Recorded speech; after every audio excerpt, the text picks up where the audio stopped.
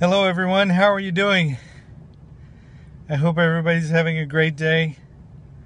Uh, a lot of good things happening in the world. Some days it's harder to see them than others, but um, it's been a beautiful day here where I live, the area I live in, so it's always very helpful. I wanted to talk about uh, letting go um, and how, like most things in life, it sounds simple, but it's not necessarily easy. I had an experience uh, a couple of days ago that was a little bit uh, difficult for me, a little bit painful actually, and um, was sitting. I went to just sit down and have a quick beverage I just wanted to relax for a minute. Um, and I actually wanted to write a note to someone in my family because I need to let them know a few things. Uh, anyway, and um, this man comes and sits down across from me, and eventually he proceeds to tell me that, you know, I'm not going to be in the best place in the next world because I don't hold certain beliefs.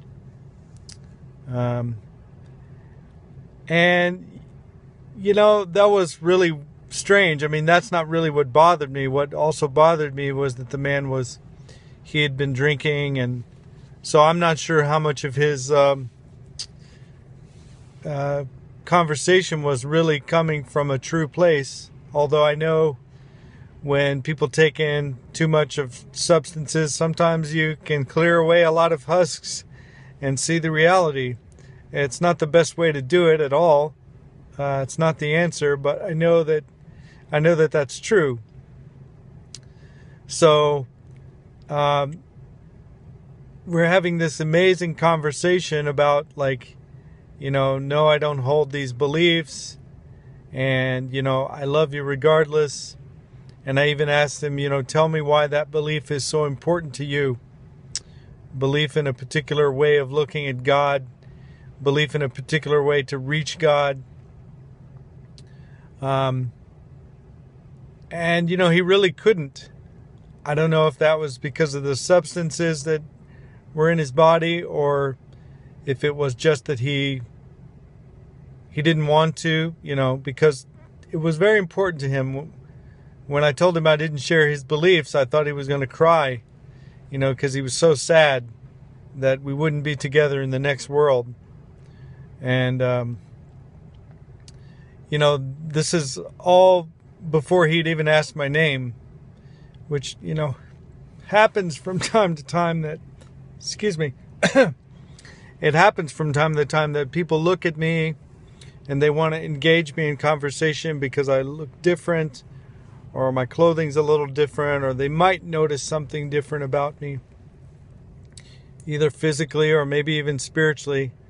And they'll want to have a conversation with me, and it'll be five minutes into the conversation before I finally have to say, you know, listen, I don't know your name. I'd like to know your name, and maybe you would like to know my name. But the interesting thing was about this conversation with this gentleman is that um, you know, he just he couldn't let go. Uh, one of the hardest things to let go of is preconceived notions about Hashem, preconceived notions about God, about how God works, about why things are the way they are, and and and when you come into a particular uh, way of thinking, either through your religious path or whatever, you know, you can build up these preconceived notions about how it works and how it's supposed to work and how it's going to work. And, you know, you're putting yourselves in these boxes. And I have boxes. We all have boxes. We all have blind spots. We all have bias. Um, no matter what. And the, you know, part of the job is clearing that stuff out.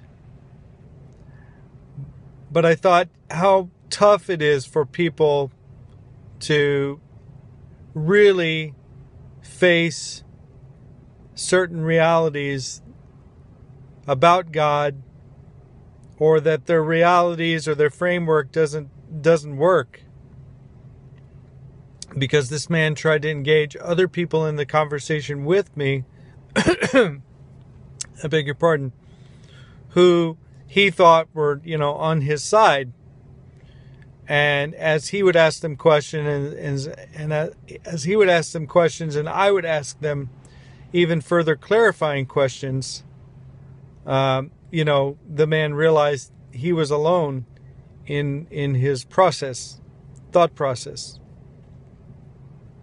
And it was hard for me because in my in my many jobs, I've worked with many people of many faiths, many backgrounds, socioeconomic backgrounds, spiritual backgrounds, religious backgrounds, racial backgrounds. And even before I was really listening to Dror, you know, one of my goals was I just want to get to know people. Uh, I want to learn. You know, I, it's we don't have to agree.